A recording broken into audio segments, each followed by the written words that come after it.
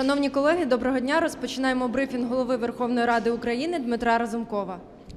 Добрий день, шановні колеги. Ну, сьогодні, як ви бачите, достатньо насичений день, багато питань, які винесені в порядок денний.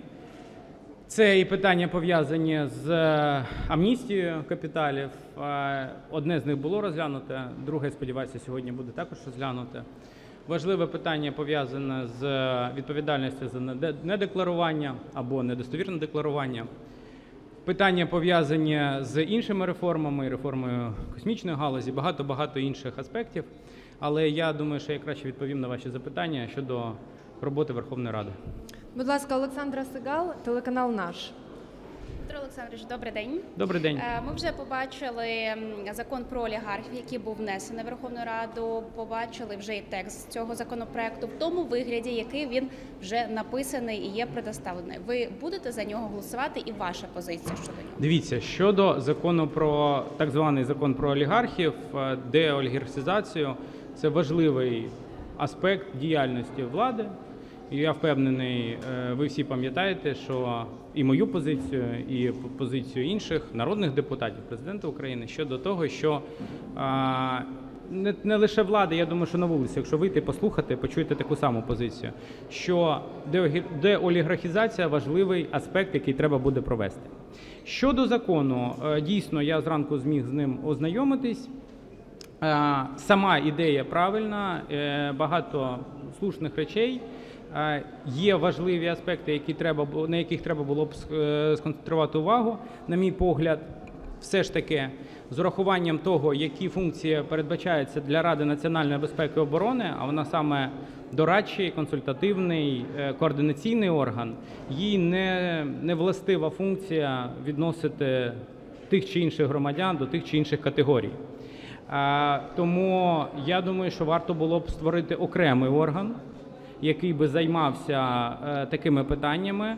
Е, Можливо, по аналогії з е, тими комісіями, які відібра- ві- відібрава- відіб- е, займаються відбором Національного антикорупційного бюро, САП, можливо, з залученням іноземних експертів.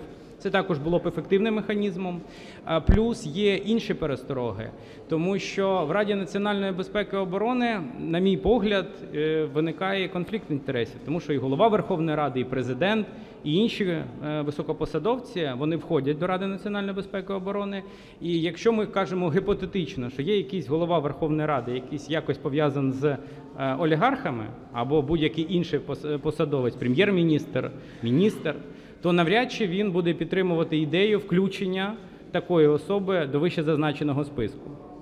Е, І ем, це буде відвертим конфліктом інтересів е, при прийнятті того чи іншого рішення, і тим більше е, під час розгляду таких питань.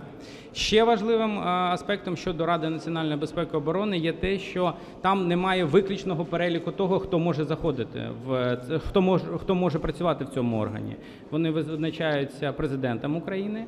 І е, сьогодні в нас питань немає. Володимир Олександрович Зеленський, але цей закон приймається на 10 років і завжди повинні бути запобіжники. Ну, наприклад, через деякий час зміниться президент, і як він буде використовувати цей механізм, буде вже великим питанням. Ми бачили різне в історії України, тому точно треба мати запобіжники, які б не дозволили маніпулювати в майбутньому таким е, серйозним інструментом.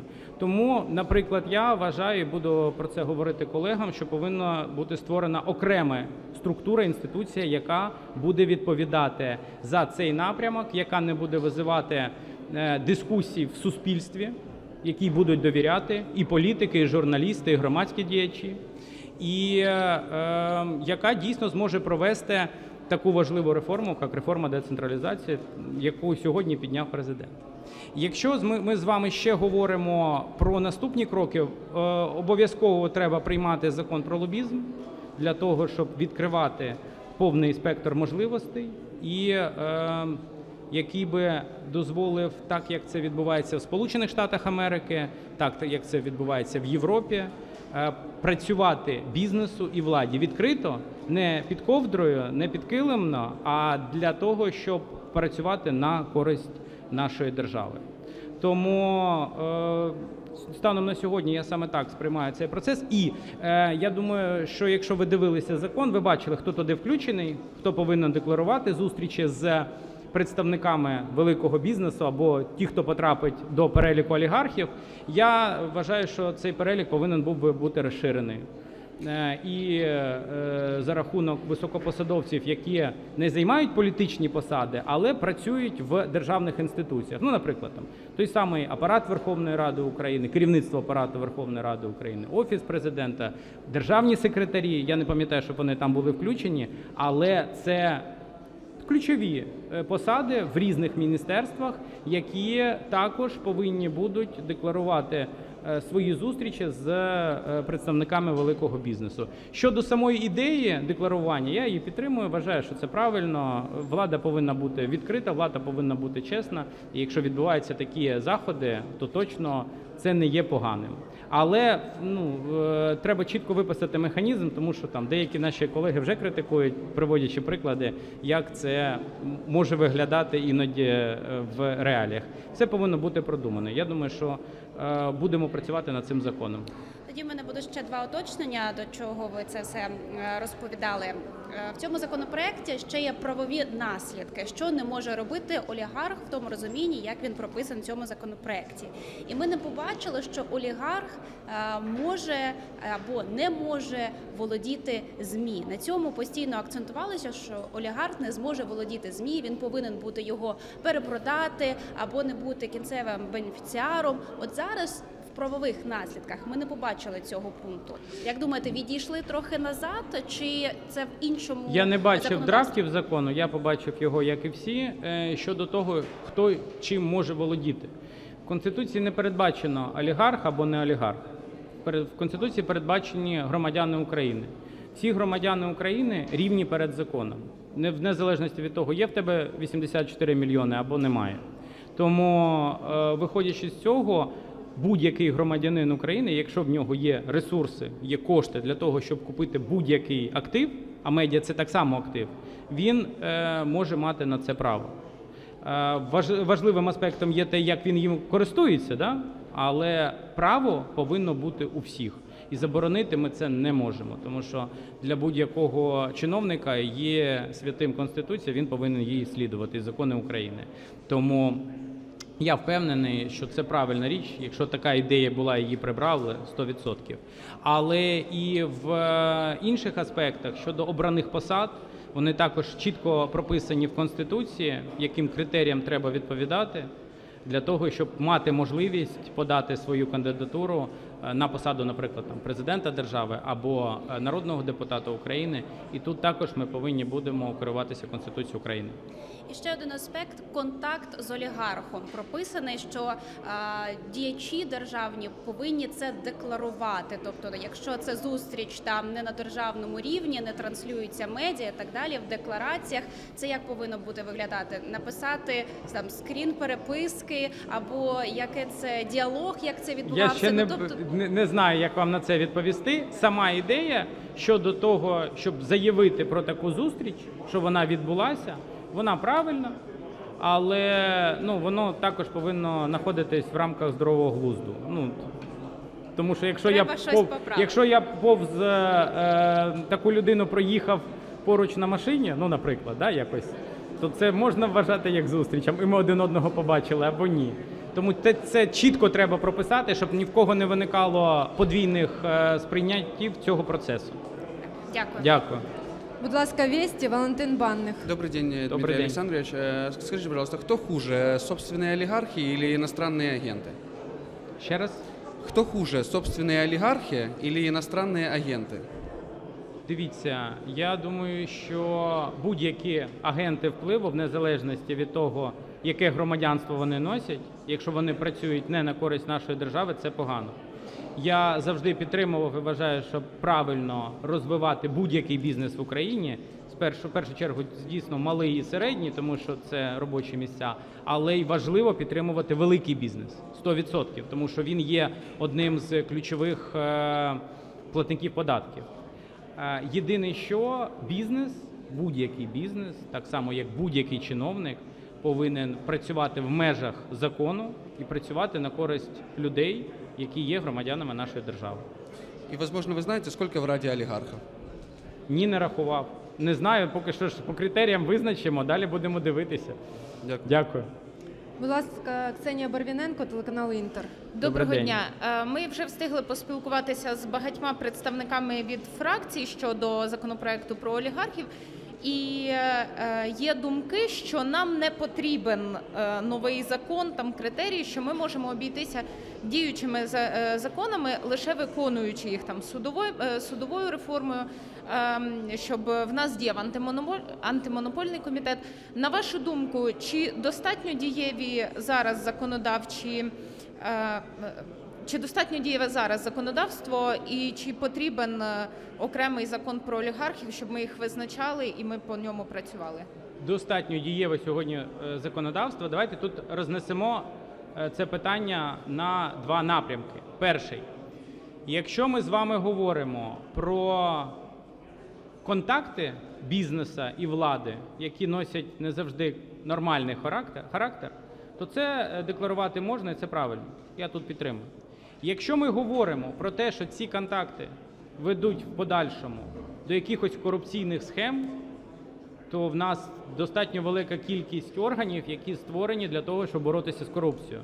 НАБУ, НАЗК, Вищий антикорупційний суд. Більш ніж достатньо. Ми повністю забезпечили їх і е, законодавчою базою, і матеріально-технічною базою. Тому, якщо будь-який чиновник, будь-який народний депутат, або, не дай Боже, голова Верховної Ради, або будь- будь-який прем'єр-міністр або міністр, е, в рамках цих зустрічей щось отримав або про щось домовився, вибачте за сленг, ну тоді працює інше законодавство, не закон не законодавство про олігархів, а працює Кримінальний кодекс України, в рамках, в рамках якого обидві ці особи або більша їх кількість повинні понести покарання. Ну і закон повинен бути одним для всіх. Без виключень. Влада, опозиція, сьогодні влада, завтра влада. Не принципово. Закони треба писати так, е, як ти б хотів, щоб вони працювали для всіх і в першу чергу для тебе. Дякую. І невеличке уточнення по контактам, по декларуванню контактів. Е, Чи достатньо е, в закон в законопроекті поки що виписані е, санкції і заходи щодо недостовірного декларування цих зустрічей? Тому що ми бачимо, що коли в нас особливо журналісти-розслідувачі починають розпитувати у чиновників і у народних депутатів, а ви там з тим зустрічались з тим, то виявляється, що всі просто дуже великі друзі ходили на каву, вітали один одного там зі святами. А, а тоді ми бачимо заяви, що там в Верховній Раді чи ще десь про, пролобіювали певні інтереси певних олігархів. Дивіться, я думаю, що якщо ти просто сходив на каву, то нічого великої проблеми в тому, щоб про це сказати, немає. Ну, якщо я дружу з тим чи іншим, е, цією чи іншою людиною, і з нею десь зустрівся, ну це ж не секрет. Якщо ви там не вирішували, вибачте за сленг шкурняки, ну які питання? Ну задекларуй. Я вам більше скажу, я, я знаю, що закони зворотньої сили не мають, але я б це зробив, наприклад, щоб декларування не було не лише після кожної зустрічі, да? а наприклад, е, на, е, прикінці року чи на початку іншого, так як ми декларуємо свої статки, за минулий рік, коли в тебе такі зустрічі відбувалися. Я думаю, що було б дуже цікаво багатьом. І я підтримую такі е, форму декларації. Я не, не говорю зараз про форму, як це буде відбуватися, але щоб зустрічі з представниками великого бізнесу і політики відбувалися відкрито, а і не відбувалися під покровом ночі.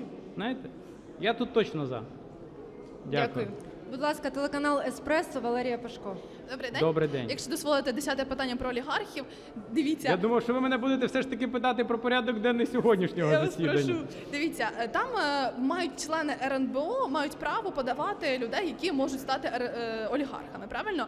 От ви кого б ви подали із людей, які є олігархами, які становлять там велику е, загрозу національній безпеці? Дивіться, там визначена, якщо я не помиляюсь, е, Служба безпеки, е, Кабінет міністрів, РНБО, ще деякі структури. Але при всій повазі, якщо ми говоримо про силовий блок, то він не, не, не на РНБО повинен це подавати, він повинен вести справи. Якщо є корупція, то працювати в іншому напрямку в рамках своїх повноважень, в рамках судової влади і притягати людей до відповідальності і з влади, і з бізнесу. Якщо ми говоримо е, про е, подачу тих чи інших людей до цього списку, то цим могли б так само займатися ці структури, ця структура, про яку я сказав е, на початку, незалежна, яка б працювала е, виключно в е, цьому напрямку, і ми були впевнені в тому, що вона діє незалежно від когось, від політиків, від бізнесу, від силових відомств, а працювала е, відкрито, щоб питань до її якості не було ні в мене як у людини, ні в мене як у голови Верховної Ради, не вас як журналіста або у громадського сектору. І в тому числі не було б у міжнародних партнерів. Ну ми, ми дуже часто орієнтуємось на прозорість. І дуже часто залучаємо міжнародних експертів до цього процесу. Це якраз той приклад, який можна було б використовувати. Тобто судова реформа насамперед, а потім уже Судова реформа обов'язково повинна йти, але це паралельні процеси. А кримінальна відповідальність за корупцію в нас вже є, правда? Достатньо жорстка. Е, органи є. Чим ще допомогти? Тут точно вже не про олігархів, тут про корупцію, там інша історія. Дякую. Дякую. Дякуємо, будь ласка, Юа перший. Вітаю Олеся Котубей, Суспільне мовлення. А зараз за кілька хвилин починається конгрес місцевих та регіональних влад, ініційований президентом Зеленським. Розкажіть, будь ласка, для чого він відбувається? Можливо, якась мета його? Я сьогодні тут. На жаль, мені буде важко відповісти. Я впевнений, що ваші колеги там будуть. Е, Я туди запрошений не був, тому що ну, ви бачите, в нас засідання Верховної Ради України йде. Е, І я впевнений, що спікери цього конгресу зможуть більш детально про це розповісти вам. Дякую. Будь ласка, Україна 24, Олена Чернякова. Доброго дня, пане Дмитре. Добрий. Питання щодо вашого голосування за постанову, що засуджує дії влади Білорусі. Попередньо ви казали, що ваше голосування буде залежати від тексту постанови. Да. Тож яке воно було і чому? Я підтримав цю постанову, тому що е, вона засуджує е, те, що відбулося з літаком Ренеєр. Він був посаджений, і з нього були зняті пасажири. Дивіться, я розумію, що безпека людей в першу чергу. І якщо є якась інформація для того, щоб посадити той чи інший літак е, і перевірити, чи є вибухонебезпечні речовини на його борту, питань нема. Але якщо ми з вами говоримо про те, що е, після цього знімається якась частина пасажирів, ну тоді викликає, це викликає е, питання. А чи це було, ну ми розуміємо відповідь на це, чи це було підставою для того, щоб посадити літак? Ці народні оборонці кажуть, що текст постанови був зм- змінений на більш м'який, що е, депутати від більшості його змінили, щоб він не звучав так е, жорстко, як це було першочергово. Я не готов це коментувати. Е, Цим займався комітет. Комітет прийняв рішення, і той текст постанови, який був підтриманий комітетом профільним, сьогодні розглядався в стінах Верховної Ради. І народні депутати приймали відповідні рішення самостійно, кожен сам. Інших е, е, постанов е, комітет не надавав. Ще з таке маленьке уточнення. Завтра Рада нацбезпеки і оборони про порядок денний, можливо, привідкриєте нам завісу, у котрі плануєте зібратися теми. Я думаю, що хай привідкривають завісу все ж таки е, в секретаріаті Ради національної безпеки і оборони. Достатньо великий перелік питань буде розглядатися. Буде щось пов'язане з землею? Буде розглядатися достатньо великий перелік питань. Дякую. Дякую. Дякуємо за запитання. Брифінг завершено. Дякую. Гарного дня.